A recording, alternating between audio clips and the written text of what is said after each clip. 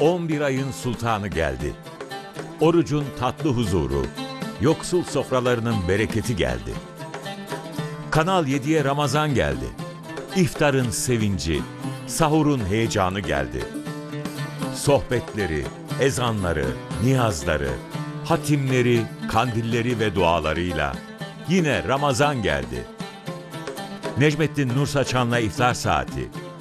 Ömer Döngeloğlu'yla sahur vakti birlikteyiz. Eskimeyen Ramazan geleneği Kanal 7'de.